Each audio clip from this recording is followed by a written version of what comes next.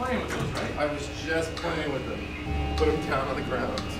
Mystery. It is. It's just crazy. out. Did it go behind the curtain? Is it underneath the radiator? How about some extra light? Does that help? I was just playing. Back pocket? Moving on. One, two, three, four.